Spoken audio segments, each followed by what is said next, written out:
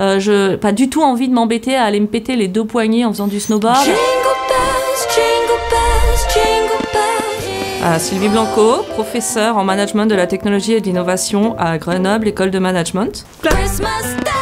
Bon, j'y suis aussi euh, directrice innovation, j'y ai fondé GEM Labs, notre nouveau campus. En quoi consiste votre travail? Il est multifacette. J'enseigne, je dirige l'innovation à GEM, on essaye d'apporter la dimension managériale, la dimension marketing, la dimension business. Pour vous, c'est quoi Giant? Giant, c'est de l'oxygène. En quoi êtes-vous une ambassadrice Giant? Je crois à la force de ce collectif, à la force de la diversité et des relations, et je le prêche très très volontiers sur la planète entière. Euh, je le prêche aussi auprès de nos étudiants et au-delà de le prêcher, nous le faisons dans l'action.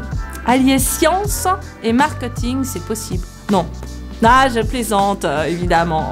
Donc j'aime Grenoble École de Management, une école de commerce, une école de management sur un campus scientifique et techno. Pourquoi?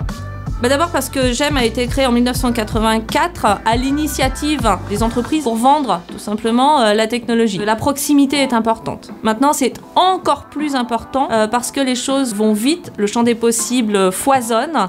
GEM Labs, à quoi ça sert?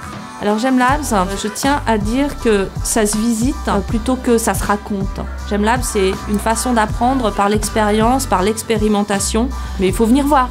Plutôt ski au snowboard. Moi, je suis à fond dans le ski. L'innovation, j'en ai vraiment marre. Euh, je pas du tout envie de m'embêter à aller me péter les deux poignets en faisant du snowboard, à passer une journée à me rouler par terre. Euh, non, non. Ski.